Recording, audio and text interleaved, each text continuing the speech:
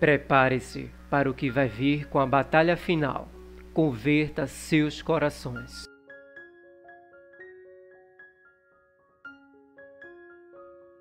Louvado seja nosso Senhor Jesus Cristo, para sempre seja louvado. E salve a nossa mãe, Maria Santíssima. Nossa Senhora, meus irmãos, aparece em Medjugorje já há mais de 40 anos. Nossa Senhora já apareceu em muitos lugares da terra e em muitas épocas históricas, sempre enfatizando o objetivo final de sua vinda, que é a conversão autêntica de nossos corações. De Medjugorje, em particular, nossa Senhora nos adverte que o tempo de seus cuidados, mais cedo ou mais tarde, terminará. Ela faz isso confiando aos videntes inúmeras mensagens que nos convidam a tomar como exemplo seu Filho unigênito Jesus Cristo e a seguir sempre seus passos e ensinamentos. Em um evento sem precedentes na história do mundo, contar as palavras nunca ouvidas antes, exceto de nosso Senhor Jesus, a bem-aventurada Virgem Maria, Rainha do céu e da terra, Rainha dos anjos e santos, em sua glória celestial, enviada por Deus Altíssimo, começou as suas aparições em Medjugorje como uma série de mensagens celestiais. E com grande amor e esforço, junto com seu exército celestial, o arcanjo Miguel e seus anjos para ajudar a conduzir muitas almas à salvação e à santidade, para protegê-las, mantê-las das heresias do fim dos tempos enganos e escândalos. Nossa Senhora nos coloca para testemunhar ao mundo inteiro e nos preparar para a batalha final contra o mal. E o segundo advento de Jesus Cristo, ou seja, a segunda vinda do nosso Senhor, a conversão e a renovação do mundo e a revelação dos filhos de Deus. Este evangelho do reino será pregado em todo o mundo para testemunho a todas as nações e então virá a consumação. Nossa Senhora, como sempre, nos surpreende né, com suas mensagens belíssimas, mas eu trago aqui para vocês duas mensagens magníficas de Nossa Senhora, Rainha da Paz de Medjugorje. São mensagens belíssimas. E Nossa Senhora deixou, no dia 2 de janeiro de 2017, para a vidente Miriana, esta seguinte mensagem: Queridos filhos, meu filho foi a fonte de amor e luz quando falou na terra para as pessoas de todos os povos. Meus apóstolos, sigam sua luz. Isso não é fácil. Você deve ser pequeno. Você deve se tornar menor que os outros, com a ajuda da fé, para ser cheio de seu amor. Nenhuma única pessoa na Terra pode experimentar uma experiência milagrosa sem fé. Eu estou contigo. Estou me dando a conhecer a vocês por essas vindas, por essas palavras. Desejo testemunhar a vocês meu amor e cuidado maternal. Meus filhos, não percam tempo fazendo perguntas para as quais nunca terão respostas. No final de sua jornada na terra, o Pai Celestial os dará a você. Sempre saiba que Deus sabe tudo. Deus vê Deus ama. Meu filho amado ilumina vidas, dissipa as trevas, e meu amor maternal que me leva até você é inexprimível, misterioso, mas real. Estou expressando meus sentimentos a você, que é o amor, compreensão e benevolência materna. A vocês, meus apóstolos, peço suas rosas de oração, que precisam ser atos de amor para o meu coração maternal. Estas são as mais queridas orações. Eu os ofereço ao meu filho, que nasceu por sua causa. Ele te olha e te ouve. Estamos sempre perto de você. Este é o amor que chama, une, converte, encoraja e realiza. Portanto, meus apóstolos, amem-se sempre uns aos outros e, acima de tudo, Amem meu filho. Este é o único caminho para a salvação, para a vida eterna. Esta é a minha oração mais querida, que enche meu coração com o mais belo perfume de rosas. Rezai, rezai sempre pelos vossos pastores, para que tenham força para serem a luz do meu filho. Obrigada. Que mensagem belíssima, né? A nossa mãezinha nos deu em Medjugorje para a vidente Miriana. E ela também deu outra para a vidente Miriana no dia 2 de novembro de 2018. E a nossa mãezinha diz assim: Queridos filhos, meu coração materno sofre ao olhar para meus filhos que não amam a verdade, aqueles que a escondem, ao olhar para os meus filhos que não rezam com seus sentimentos e ações. Estou triste porque estou dizendo ao meu filho que muitos dos meus filhos não têm mais fé, que eles não conhecem meu filho. E é por isso que eu os chamo apóstolos do meu amor. Vocês se esforçam para olhar até o fundo dos corações humanos e lá certamente encontrarão um pequeno tesouro escondido.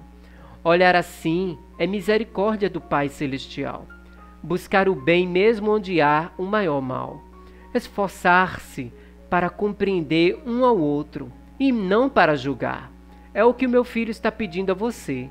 E eu, como mãe, estou chamando você para ouvi-lo. Meus filhos, o espírito é mais poderoso que a carne. E levado pelo amor e pelas ações, supera todos os obstáculos. Não se esqueça, meu filho te amou e te ama. Seu amor está com você e em você quando você é com Ele. Ele é a luz do mundo e ninguém nada poderá detê-lo na glória final. Portanto, apóstolos do meu amor, não tenham medo de testemunhar a verdade. Testemunhem-no com entusiasmo, com obras, com amor, com vosso sacrifício e, sobretudo, com humildade. Testemunhe a verdade para todos aqueles que não conheceram meu filho eu estarei ao seu lado. Eu vou te encorajar. Testemunhe o amor que nunca acaba, porque vem do Pai Celestial que é eterno e oferece a eternidade a todos os meus filhos. O Espírito do meu filho estará ao seu lado. Novamente o chamo, meus filhos. Rezem por seus pastores. Rezem para que o amor de meu filho os guie. Obrigada. Essa foi a mensagem de Nossa Senhora para a vidente Miriana do dia 2 de novembro de 2018. Meus irmãos, que mensagem belíssima, né? E Nossa Senhora está aqui nos exortando nessas duas mensagens, né? Primeiramente, pela nossa conversão, né? Que possamos abrir nosso coração a Deus, abrir o nosso coração ao nosso Senhor Jesus Cristo, abrir a nossa alma para o Espírito Santo, né? E ela pede: conheçam a verdade, busquem a verdade. Nossa Senhora estava muito triste nessa segunda mensagem do dia 2 de novembro de 2018, porque ela estava indo ao seu filho Jesus dizer que os filhos dela, nós, não tínhamos mais fé. Então, Nossa Senhora, o que é que Nossa Senhora iria entregar a Jesus? Cadê as orações? Cadê os sacrifícios? Cadê os jejuns? Cadê as confissões? Cadê o Santo Texto rezado todos os dias? Cadê as novenas rezadas todos os dias? Cadê a oração de coração?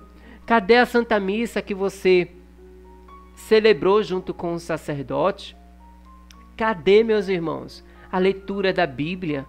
As cinco pedrinhas de Nossa Senhora de Medjugorje que ela já vem lutando há 40 anos pedindo, e essa é a mensagem principal de Nossa Senhora em Medjugorje. São as cinco pedrinhas: jejum, oração, leitura da Bíblia, confissão mensal e Eucaristia.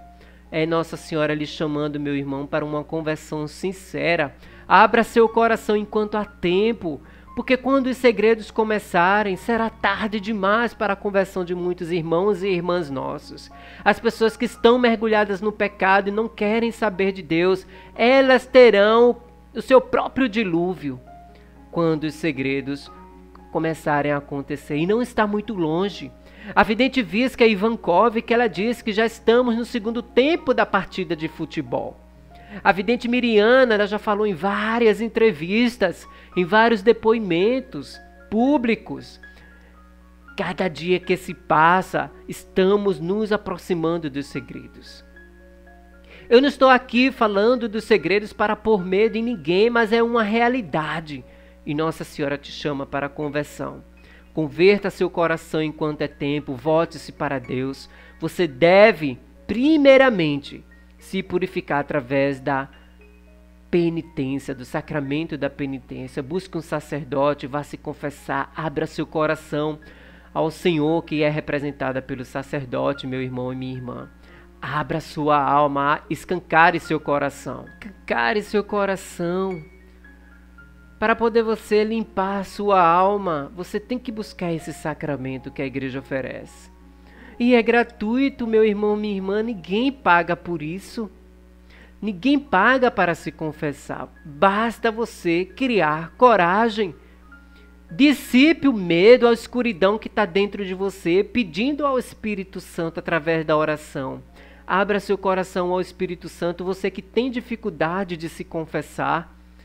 Você precisa, meu irmão, se você quer ser salvo, você precisa se confessar. Se você, minha irmã, você quer ser salva, você precisa se confessar. Não vá na onda dessas pessoas que até dentro da igreja tem gente que diz: "Eu me confesso com Deus diretamente, não preciso de um sacerdote, isso é uma enganação do inimigo". Você precisa do sacerdote para se confessar e ter a absolvição dos seus pecados. Muitas almas se perderam, meus irmãos, porque tiveram esta ideia. Sim, Deus pode perdoar, pode, mas Ele criou, Jesus criou o sacramento da penitência para que você tivesse acesso à salvação, para que você tivesse acesso a uma vida plena em Jesus Cristo para que você tivesse acesso a uma vida de santidade, uma vida pura, casta. Então é preciso você, meu irmão, minha irmã, principalmente se você está com pecado mortal, você precisa, você precisa se confessar. Ninguém nem entra nem no céu e nem no purgatório se você tiver em pecado mortal. Segundo o Padre Pio, ele diz: basta um pecado mortal para você cair no fundo do inferno. Basta um pecado mortal, não precisa nem de dois. É apenas um. Então você precisa liberar, se liberar, liberar seu coração para Deus. Você precisa liberar, abrir, escancarar seu coração, a sua alma para Deus. Você que, se sente, que sente medo de confissão, achando que o padre, o sacerdote vai sair por aí espalhando sobre o que você disse, isso é uma grande enganação também do inimigo, é mentira.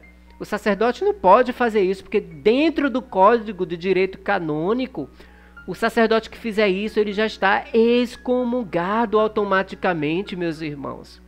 Ele não pode fazer isso com você, nem comigo, nem com ninguém, com nenhum fiel da igreja, né? Então você deve, o primeiro passo para uma vida com Deus é o sacramento da penitência. Nossa Senhora em Medjugorje recomenda confessar-se ao menos uma vez no mês, caso não tenha pecado mortal. Caso tiver pecado mortal, buscar a confissão o mais breve, o mais urgente possível. Tá bom, meus irmãos? Então fica aí esta mensagem. Converta seu coração, converta enquanto é tempo. Eu estou há tanto tempo aqui no canal, aqui no YouTube, dando essas mensagens de conversão, porque os tempos exigem isso, os tempos são sérios, os tempos são sombrios. Mas lá no fundo, quando o triunfo do coração imaculado de Nossa Senhora vier, teremos um tempo de paz, um tempo de paz. E segundo a vidente Miriana, ela diz que Nossa Senhora está nos preparando para a segunda vinda do nosso Senhor. Jesus Cristo. Louvado seja nosso Senhor Jesus Cristo, para sempre seja louvado e salve a nossa mãe, Maria Santíssima. Você que gostou desta mensagem de Nossa Senhora, esse testemunho da vidente Miriana também, curta este vídeo para que o YouTube reconheça que é de suma importância essa mensagem. Você curtindo este vídeo, você também está ajudando a difundir as mensagens de Nossa Senhora. Compartilhe em suas redes sociais, é tão simples, né? O compartilhamento e comente aqui no canal. Deixe o seu comentário. O que foi que você ficou mais tocado com essas duas mensagens que Nossa Senhora de Medjugorje disse aqui para vocês? Disse para mim e para você, porque também serve para mim. Deus te abençoe, meu irmão, minha irmã. Que Nossa Senhora Rainha da Paz te ilumine, te dê a paz, proteja você, sua casa e sua família. Até o próximo vídeo, se Deus quiser.